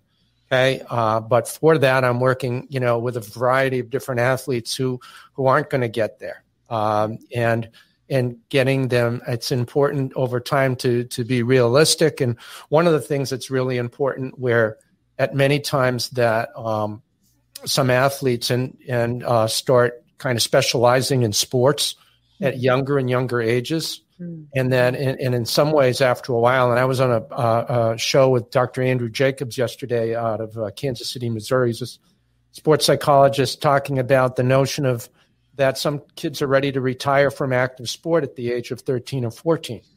You know, and many people have heard this before, but it's true. Because they've had so many games and matches, mm-hmm. and they're just they're just getting tired of that there. And so the idea is that looking by and getting athletes to look at what is the purpose of why they do what they do, okay, and how can they enjoy the process, and at the same time, looking if they're looking for that brass ring, what is going on in the middle where they can be present in the moment to really enjoy moment by moment, you know, uh, practices, races, games, and stuff like that, so they can bring out the best in themselves as kind of deferring all that you know that that that that that good stuff until they they kind of get to another level. And i think it's really important that we we share that with with athletes in there. Mm-hmm. you know um, you know we don't want to burst their bubble whatsoever. Right. okay? And and that's important uh, not to do but we also have to look at where they are in in areas that they've they've gone to I, I, work with a variety of uh, of, of hockey, uh, ice hockey, uh, male ice hockey players who've gone through the junior level, then through college. And there's a realization through that process whether they're going to go any further or not with that. It usually kind of shows up after a while. And there's a grief process that goes through that. There's a sense of loss. But as a coach, you are there for that athlete to help them through that process, you know, to help them move forward. Absolutely. Yeah. John John gets it just absolutely right. Um oh my gosh, train of thought. Um when I so I always have my athletes set goals for their races, right? Sometimes their goal is just finish, which is fine. The majority of them it's finish. Um, a lot of them it's finish before the cutoff. Um, some of them, I have two athletes specifically that were chasing podiums, right? One of the really nice things I think in triathlon is um, you can go to a bunch of different races and you can win in your age group. You can win in Athena, you can win in veteran, you can win in newbie. There's lots of different places where you can try and get on the podium. Um, and and that's sort of for two of my athletes, that's what they were chasing. And that is a really different goal and and path to that goal than just finishing. Because the biggest thing is you only race against yourself. It's you versus the course, right?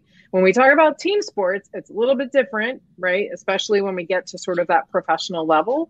Um, but it's you versus the course. And if you race against anyone else, you're always going to lose. Now, if your goal is to become the national champion, okay, we're going to try our best and we're going to have a big talk about what happens if that doesn't happen. Um, and so it's a really different kind of training when someone wants to uh, wants to win. And the thing with professional triathletes to make that next big step up, the same with like Olympic swimmers or professional cyclists, or like you want to win the Boston Marathon, those athletes start at a younger age they're not going to hire a coach like me because I'm I don't have those credentials yet. Um, they're they're going to be with a coach who's already taken that path, right? So if they don't hit those marks, if they don't get first place at Boston, their coach is like, and here's what we're going to do with this, right? Here's how we're going to turn this around. Like, you know, you're done with ice hockey in college. That's great. How are we going to turn all of this experience and time that you've spent doing all of this into something useful. And that's where a good coach is really going to help that kid's trajectory. Um, the role of professional sports in this, yes, we throw tons of money at it, right?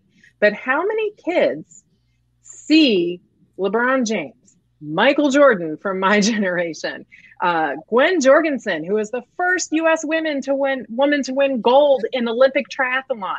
So many people see those athletes, those professional athletes, and think, "I'm just going to keep trying." Because if they can do it and I see that they can do it and they look like me, I know I've got a shot. And they keep trying. The only thing that we can hope is that they run into a coach or an adult or a leader who, when they miss the mark, says, What are we going to do with this experience that you've had now? Right? You didn't get recruited to go play on the Mighty Ducks. What are we going to do with your four years of college, your four years of high school, and your four years of Pee Wee hockey to to get your life into a place where you're doing something that you love? Right? That's really all that we can hope for because money in professional sports and the glamorization of professional athletes it's not going away. It's yeah. it's not. I know. I, am just to go off with kyler what what you're saying kyler is so true. I, I work with a uh, Division One um, college men's swimming and diving team, and their coach is all about hitting the sweet spot of, you know, doing well competitively, but also at the same time building the life skills. And mm. part of mm. his job, he believes part of his job is that he gets ready. He's readying these athletes for when they get out of college, for their yeah. next steps in there. Going exactly, you know, what what you were saying in there. And I believe part of that is to, I think, hitting the sweet spot of trying to be in present moment mm-hmm. in everything that you do out there. And that's so hard and so challenging to do yeah. is to is to allow yourself if if you're in a race okay or in a game or in a practice to be really focusing to be not judgmental to focus on what you need to do right now at the right moment for the right reason and if you're mm. able to do mm. that more so you enjoy that whole process yeah. as opposed to thinking well what if and what's going to happen next week and what's going to happen there and and going back to the question that you had Marc about uh, how with health education in schools the idea of helping our kids to be more mindful overall. Yeah. okay? Is yeah. really really important. It's it's yeah. tough there. And oh, COVID, COVID has had maybe the kids going to kind of feel like a squirrel that you're going around back and back and forth and stuff like that as opposed to they slow down. Okay what do i need to do right now to enjoy the process? Yeah. That's why just like application apps like headspace are so important and powerful mm-hmm. to get people to actually slow the process down, really enjoy and smell the roses. Mm-hmm. Yeah, definitely have to smell those roses and everything. No doubt about that. One of the things that I know that I've got an uncle who's um he's a multi multiple stroke survivor. So right now he's uh definitely dealing with a lot of health issues and everything. But he was an avid golfer. Um, doesn't do the golfing now because of his health issues. But when he was an avid golfer, he competed on those age circuits, and I know that that's one of the reasons mm. that he stayed so active before uh getting caught up in these health issues that he has now was because he was able to compete, like you were saying, Kyla, at different levels. So, like I said, he was competing with folks yeah. that were similar to his age and all of that. And I want to say Uncle Randy is in his 80s now, but I remember him competing definitely in his, uh, I want to say as far as the 60s and 70s in some of those uh, competitions oh, and yeah. everything as a golfer. But, you know, they were age uh, bracket divided. So he wasn't necessarily competing with like the 20 year old golfer or something yeah. like that. So I think that that was one of those examples. Golf is definitely one of those examples where they do it yeah. by age bracket and you can definitely uh, have different levels of competition, whether it's by age yeah. or whether it's by um, abilities, because I'm sure there are some kind of uh, ways that they um, accommodate people of different abilities if they mm-hmm. are handicapped in one form or another, and not just a golf handicap, but like a physical right. handicap as well. But definitely that's something that I know exists out there. So I agree with you on that. one of the other things that I know one of my relatives did was a cousin of mine, and I'd love to hear both of your thoughts about this. Is that um, a lot of times, you know, we love being coaches, whether it's a coach of life or a coach of people and everything, but then you get to go up in the position and you get to be something bigger than a coach. So I remember he was a coach and an assistant coach on the high school level. And then at some point he had to become a or was appointed an athletic director for his high school. And I remember that that became kind of an issue because, you know, coaches like to coach and they like to coach no matter what's going on. So I believe his principal had to tell him that, you know, he did not get the right to coach his coach and all of that. You know, he needed to let the coach do the coaching and he mm-hmm. needed to handle the administrative side of things because that's what an athletic director does. But he was definitely there for a minute, particularly in sports that he enjoyed, like football. I think there for a minute he was tempted to be the coach in the uh, in the stands. That's right, because the athletic director is probably in the stands versus on the field. So he was tempted to be the coach on the, the uh, up there in the stands versus the uh, actual coach. So when you have coaches that then go into other positions. Maybe they go to the front office or maybe they go and do something else within the administration, whether that's a professional level or on an individual level. What is some of the advice that you give them to let them understand that they have a new role and therefore they don't need to be trying to do their old role with the person that they hired for that role? I, I think somebody once told me that being an athletic director is like setting a dinner party every day for 35 different coaches. And it's like setting the table, getting everything else ready for that. Um, uh, and that be, by being a great coach doesn't necessarily mean you're going to be a great athletic administrator. And I think what's really important is that the athletic director or program director has the capacity to be able to coach coaches, mm-hmm. to be able mm-hmm. to hold the line there too. And I think it's critical that that that with athletic programs that core values are set and the mission mm-hmm. is set within the organization as a whole. You know, so that so that the the basically now the athletic director becomes that top that I was talking about. Right. But they're they're a bottom to somebody else, the school board or the principal or head of school or whatever and then and that they're able to communicate to bring out the best in their coaches but also yeah. the importance of holding the line right there mm-hmm. and the thing is also to cultivate the connections to effectively challenge coaches by providing them the appropriate feedback and third is that as i've said before as coaches can do this with athletes ads can do this with their coaches of giving be autonomy supportive letting go mm-hmm. of control and allowing the coaches to coach but to do so in a way that their coach, the coach's work is done in the spirit of the school values in the mm-hmm. program's mission. That's really, really important there. Yeah, Absolutely. Yeah. It's um it's interesting because it uh, it brings to mind the adage just because you're really good at math doesn't mean you should be a math teacher right? So, being an athletic director, you might be the greatest coach in the world, but if you can't stay organized, you're not going to be a great athletic director. So, if you like being a coach and that's what you're really good at, be a coach, stay a coach. I really love being a coach.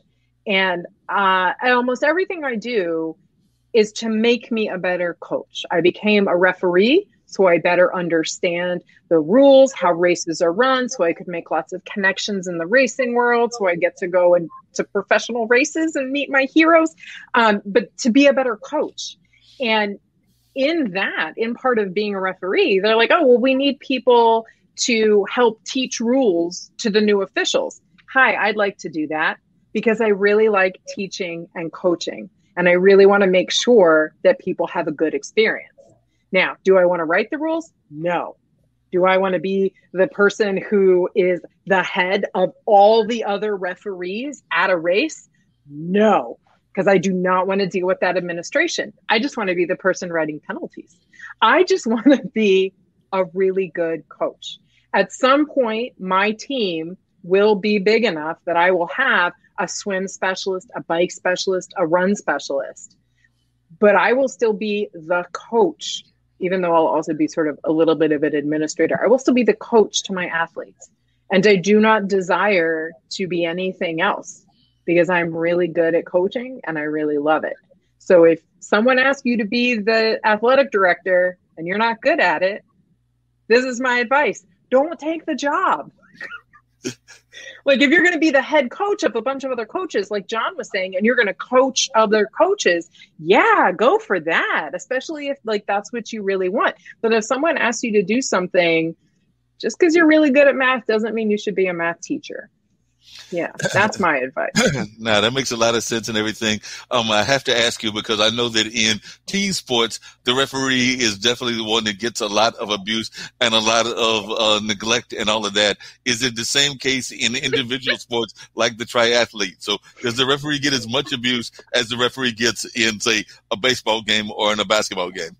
Oh my gosh, it's such a great question. Um, so as part of USA Triathlon, which is like the governing body of all the triathlon stuff, and the person who sends out all the referees and things like that, um, we very much are there to educate athletes. Right? We walk around transition at the beginning of the race. We answer questions. If we spot something that might be a problem later, we might tell an athlete, "Hey, just so you know, X, Y, Z." Right? Um, once we're out on the race field, the race field, the race course that's more referees. And here's what's really, really great about being a referee it's anonymous. If you're riding on the back of a motorcycle writing up bike penalties, you've got a helmet, pants, a shirt, a jet. They don't know who you are. So when you write up all the penalties, the head official is the one who posts them. And if an athlete has a problem with that, they go to the head official. That's why I don't want to be a head official. I just want to be a regular official.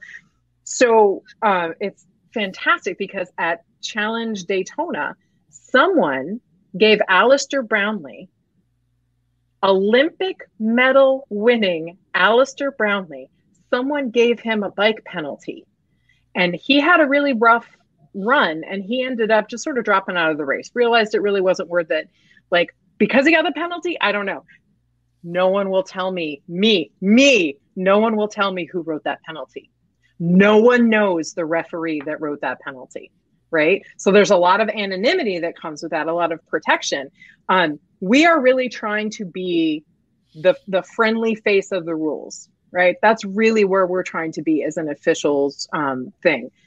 Do people get angry? Absolutely, especially if they think we made the wrong call or we're being jerks or we're getting in the way or whatever. Yeah, people get angry, but it's not like at a baseball game or a football game where they're just like, you know, they're just treating them terribly. And man, do I hate that. Not just even before I was a ref. I was like, come on, they're just doing their job. But um, yeah, no, we don't, we don't, we don't get a lot of a lot of tomatoes thrown at us. So. Well, that's good to know. Yeah. I was actually, John, I was picturing um, somebody just handing uh, LeBron James a note saying that he had a penalty as opposed to like actually having the physical call. So I was picturing like, you know, just like a note handed off to LeBron James or to uh, Paul Pierce or somebody saying, I'm sorry, that was the charge. just like a little, a little note. Excuse me, Mr. James. Yeah, you have a two minute penalty. I had no idea who it was from. Oh, that's hilarious. I think that might be a little yes. We might have to change the rules and everything. One of the things that I was curious about, and I'd love to hear your thoughts about this, John, is and it comes back to team sports. Is definitely within team sports, I'm a big fan of minor league baseball, probably because the Durham Bulls are here and all of that. And of course, those folks are going through the process of getting to the shelf. They're going through the process of making it to the big time and all of that. But um, a lot of the other sports don't necessarily have that as much as they could have it the way that baseball mm-hmm. does. Because baseball, you've got everything from the different A's all the way up till you make it to the majors and everything. I think that to some degree, kind of these, uh, um, D leagues and stuff like that have become that for the NBA, but I don't know necessarily, even though there have been attempts to do it, that we've really had a true minor league for the NFL and for some of the other sports. So, what is your thoughts? Do you think that we uh, do a good enough job of developing even our minor league programs, both in baseball and in basketball? And do you think there's room to develop minor league programming in football and some of the other sports that are out there, maybe even your beloved lacrosse? Well, I think in many ways the minor leagues to to professional football is is is the college game. Right. You know, it really really helps athletes to get there, and I think once that athlete, if that athlete can make that transition over there, then what are the responsibilities of the NFL for that athlete too? As you know, even though they're they're getting paid money to do this, what what is the responsibility for the, the league to do that? I mean, I think the same thing like with lacrosse, the minor leagues are are the college game, you know, mm-hmm. uh, that and that kind of gets you, you know, to to get to that point before you go to the to the professional level in there you know and then as you're talking about the d leagues and stuff like that where that's a chance where athletes can you know basketball players can get noticed and i i think that that's that's important too but mm-hmm. I, i'm just i'm biased to where you know what you know what what can the athlete do for the pro league but what can the pro league do for the athlete to bring out the best in them as a human being even well, though yeah, because that actually raises a question that I know a lot of people thinking about even to this day, which is maybe at some point we need to figure out a way to actually officially, even though they might be unofficially getting compensated, compensate those college athletes if they're going to be going into the pros anyway, or at least some of them are. And maybe, like we said, not a large percentage, but I do wonder your thoughts about that because I know there's been a push to try to have athletes, particularly college athletes, be allowed to get some sort of compensation because in a lot of of ways, it is their training ground. Mm-hmm. That's that's a really good question, and I'm still working on the answer for that. I'm going to be very judicious about this. I just know, you know, one thing: if an athlete is on a full scholarship, athletic scholarship, you know, their their they're being their, compensated. Their four years of eligibility is being paid for by by the college. Mm-hmm. I mean, and what does that what does that do? And then then the other question. So I think I'm answering this by asking more questions the second question, the second piece is, you know, if an athlete is, um, you know, if an athlete is compensated, what does that do to the the athlete in their team connection in there? You know, mm-hmm. as does the athlete, you know, is the athlete promoting him or herself, or is being promoted by an agent for him or herself?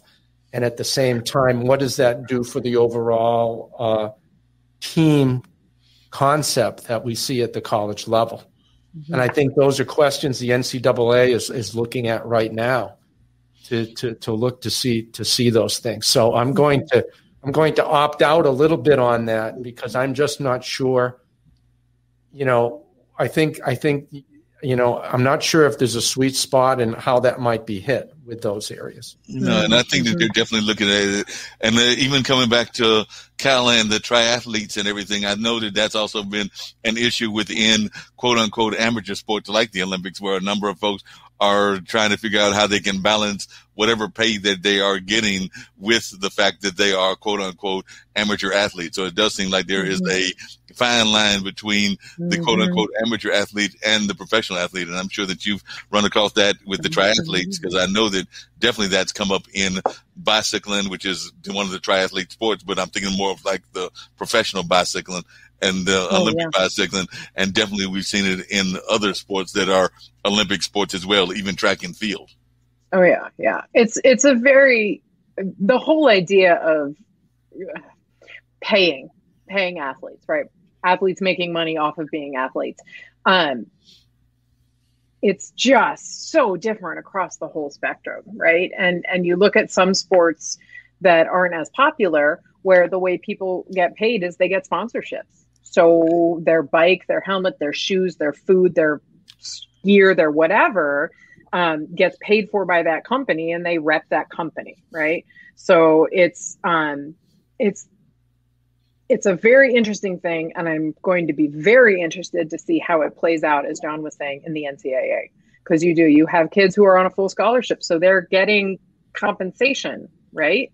But you also have athletes that aren't on a full scholarship that are, you know, so it it, it it's all very interesting and seeing how it's all going to play out. I think what happens with the NCAA will trickle down or spread out to the other sports as well, as far as um, how we deal with amateurs and things like that.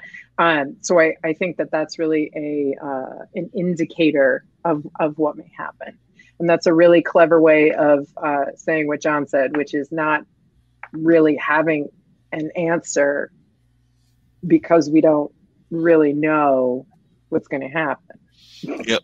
Definitely wanted to say, by the way, Tim Sohn, who's one of the uh, friends of the show, he was popping in and saying hello to all of us, but he is a, longtime fan and a longtime watcher, but he's actually in Pennsylvania. So he's out actually oftentimes watching and making comments from the Pennsylvania area.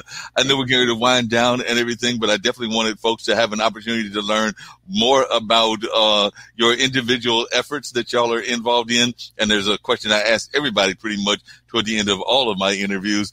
That's a very basic question and everything, but any of the social media that folks can reach out to you and any of the things that you would like to share with our audience in general, now is the time to do that. And then I'll get to that one overall question that I ask all my guests, no matter what field they're in. Well, I'm I'm just Marc, really excited to be on uh, uh, your show this week, and and also a treat to meet you, Kyla.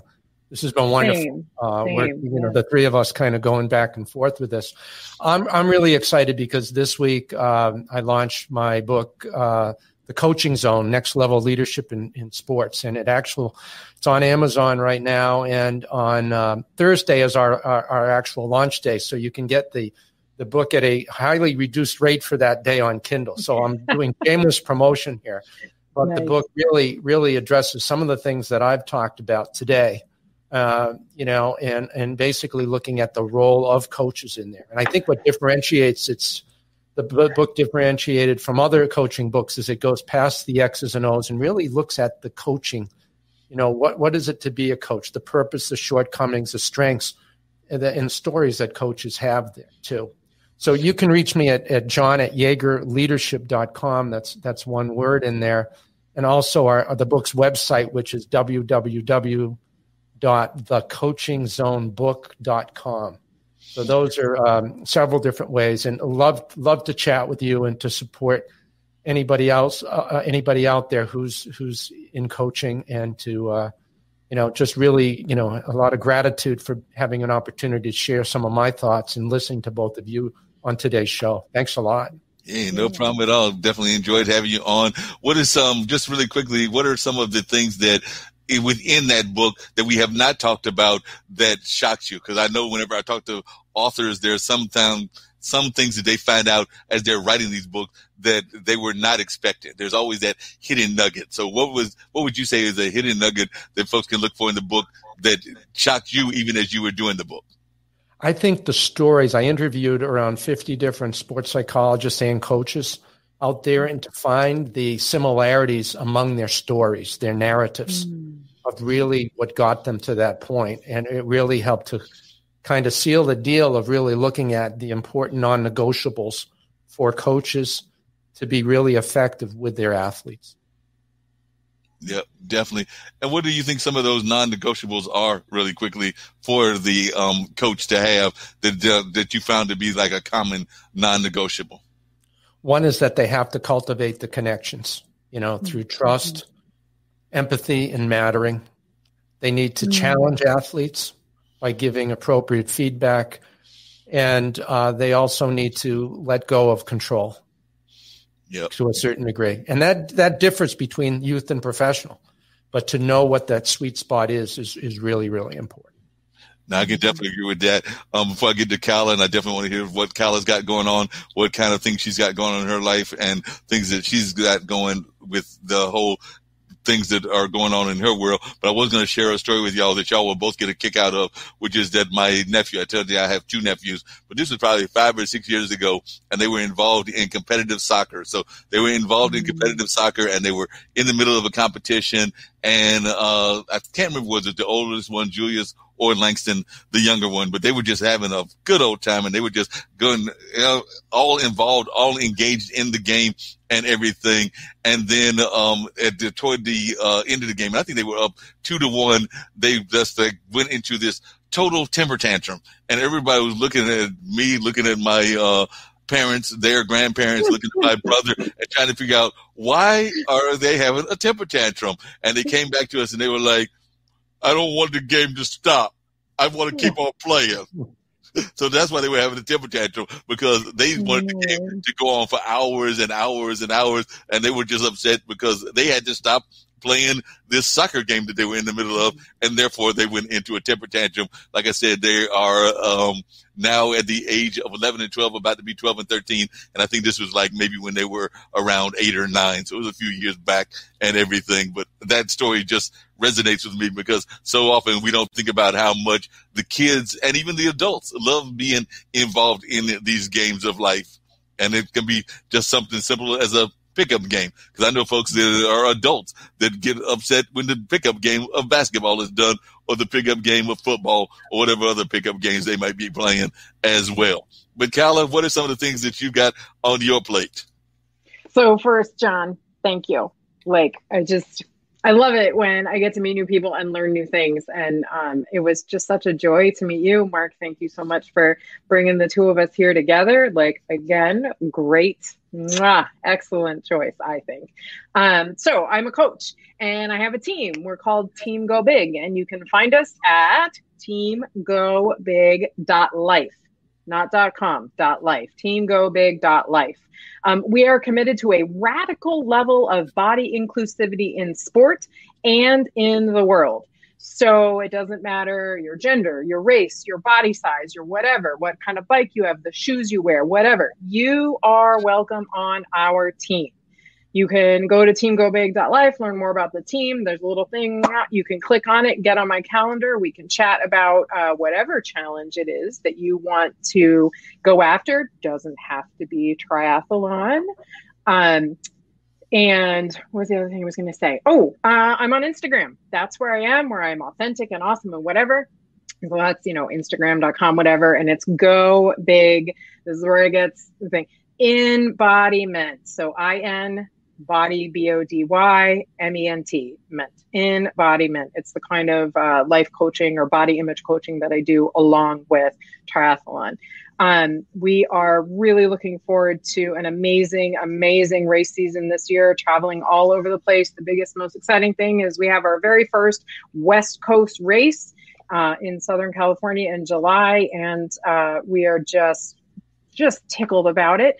And um, on a personal athlete level. Um, I am racing my heart out this year to qualify to go to the World Championships in Australia in 2022. I went in 2019 to Spain and just missed the mark, missed the time cutoff for the bike and uh, for the last loop of the bike. And so I'm going back to to try and do it again. And uh, I hired a coach. I hired two coaches. So uh, I'm sure John will agree with me. Great coaches get coached. Um, and so it sounds like John is a really great coach. If you're a coach and you need coaching, and if you're an athlete and you need coaching, come find me at Team Go Big.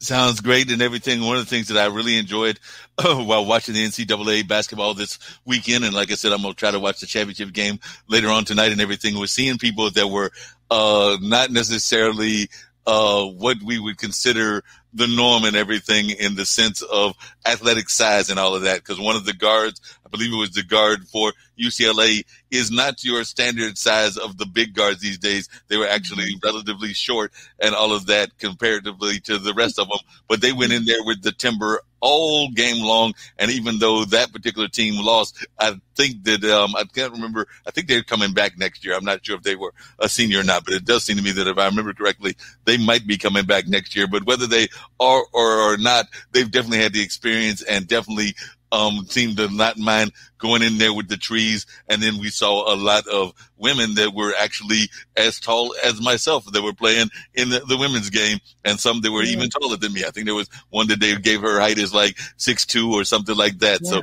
definitely we seeing a lot of folks that are not necessarily falling within the traditional sizes that people may be yeah. thinking about. So it's good that you're doing that kind of work to fight against those stereotypes. Absolutely. Absolutely. The, the question that I always ask all the guests at the end, and that's what I was going to ask, is that throughout the interview, we talk about a lot of different issues, a lot of different things, but I always give people a chance to give their word of positivity, their word of encouragement that they would like to give to our global community. Because the International Broadcast mm-hmm. Media is a podcast network that Nick Palveda and Kim Calhoun founded, and it's got programmers from around the country. I know we've got a program, a music program out of South Africa. We've got a kind of spirituality program out of Nigeria. We've got guests and folks that come from as far away as New Zealand to other parts of the United States to um, England to just being a true global community. So any words of encouragement that you would like to share with the audience in general? And I'll start off with you, Kala, and then go to John. But any words of positivity or encouragement that you would like to give to our global community? Ah, you're giving John the advantage. Um, all right. So here's what I always tell all my athletes you are already ready. You don't need to wait another moment to get started on whatever it is that your heart is calling you to do. You are already ready. Don't wait anymore. Go for it. Sounds great. What about you, John? Any words of encouragement well, or positivity that you would like to share? I, I go back to the ancient rock group journey and don't stop believing. And that has a double negative in there. So I look at the idea as belief. Belief. Nice. Love it. Definitely. Great idea. Great thoughts. I want to thank both of you for being guests. As I oftentimes tell many of my guests, do know that you may be reached out to again on Podded or some of the other platforms because you were both amazing guests. And I look forward to having you come back and share your journeys in the near future and could make a return trip. So don't think that it was just a one time, one off visit at the radio show with Marc Lee. I'm hoping that you'll appear either on this show or on some of the other shows that I am doing for international broadcast media. So I want to thank both of you for mm-hmm. being tremendous guests and look forward to seeing you again in the very near future. You got it. Thanks, Marc. Thank you.